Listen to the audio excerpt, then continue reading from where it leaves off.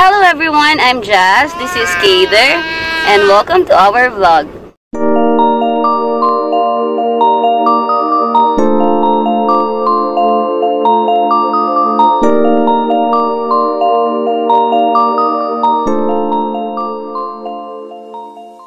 Ayan, as you can see guys. Ay nako, talaga. Paalis kami ngayon. Pupunta kami sa kapatid ko kasi nanganak na yung sister-in-law ko. Excited na akong makita yung pamangkin ko. Um, dapat sa May 13 pa yung due date niya. Kaso talagang uh, napaaga. Kasi yung panganay nila 8 years old din siya ngayon. So parang nanganay din siya. So sobrang tagal na hindi sila nagka-baby. So ayan dun kami pupunta. Pero before that I think magla-lunch muna kami. Actually 2 o'clock na ng hapon. Hindi pa kami nagla-lunch ni Jeff kasi nga late na rin kami nagising dahil namuyat si Kader. So let's go guys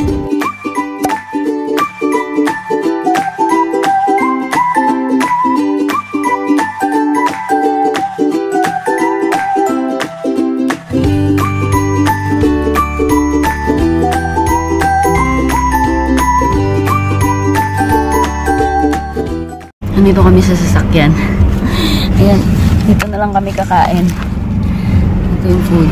Ayan. Pili na lang sa KFC si Jeff. Nakatulog kasi si Kater. Ayaw namin siya istorbohin. si Jeff. Busy na siya. So ayan, kakain na muna kami. A few moments later. Nandito kami ngayon sa Robinsons, dito sa may sa amin. Bibilan ko kasi ng ano, yung parang tub, yung pangligo, yung pamangkin ko, tsaka uh, ilang pirasong bote para madagdagan. Ayan, gising na si Kader. 30 minutes lang siyang natulog. Yan, dito kami sa may baby charm.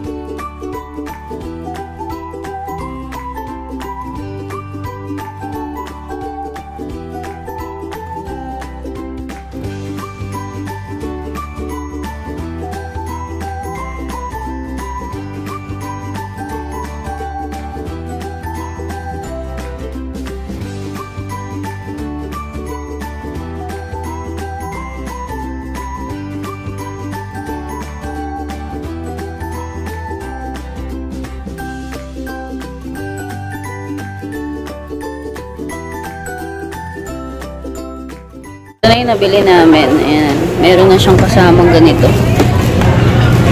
Tapos, meron din, yan, mga bote. Kumuha din ako ng ano, yung panlinis ng bote.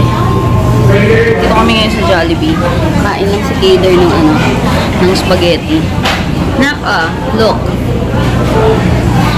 kami ni Jeff kanina dun kami sa ano, sa sasakyan kami kumain kasi nga natutulog siya. Pero at least okay na rin na siya na lang yung kakain ngayon para ma mabilis na lang kaming makapunta ka na mama. I mean sa kapatid ko. Yan, papunta na kami sa ano sa kapatid ko para makita yung aking pamangkin. Ito si Gator. Hindi na namin siya nilagay dun sa ano sa car seat kasi malapit lang na pupunta namin. Ano, napaka-ulit.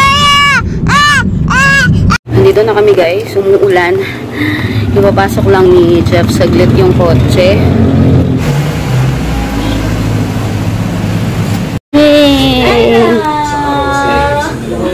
Mini siya. Either oh baby oh. Either. Ayan, ito yung pamangkin ko. Napaka-cute. So pretty. Siya si Baby Zab. Ano yung full name na? Summer. Sabrina Summer yung full name niya. Tapos yung isang pamangin ko, yung anak ng kapatid kong bunso, Winter Kira naman. Oh my God. Yung mga ano na. Ayan, nandito din sila mama.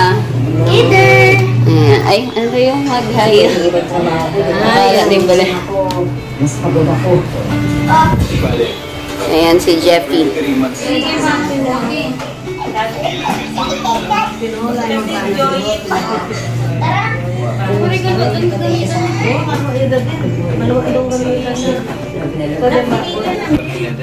Ano niit mo? Kumain talaga si Kim. Ay, nako. Merienda tayo. Ha? Ayan, the mother. Merienda kami kanina. Tulog pa rin siya. Ayan. Guys, nandito na kami sa bahay at si Gator, oh. Dami tuloy kalat kasi binaba namin yung mga gamit. Hindi ko na na-vlog kanina masyado talaga kasi wala, nakipag...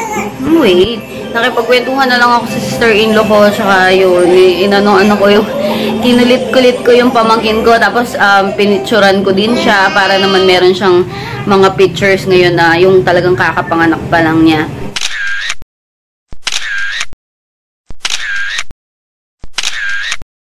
Tapos si Kader, sobrang, as always, sobrang kulit, sobrang likot. Laro sila ng laro ni, ano, ni Ate Chan Chan niya. So, ayan, ito kakadating lang namin. Kumakain siya yung tira niyang spaghetti kanina. And then, patutulugin ko na siya. Nanonood lang muna siya. Tapos, um, after nito, after niyang kumain ng konti, hilamusan ko na siya para makatulog siya ng maaga. Kasi nga, kaninang madaling araw, 3 a.m. nagising siya. Tapos, natulog ulit siya ng 6. And then, kaninang hapon, 30 minutes lang siyang nag-nap. So, maaga ko talaga siyang patutulugin ngayon. Say good night to them. Say good night. Good night.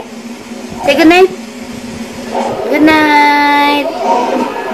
Flying kiss.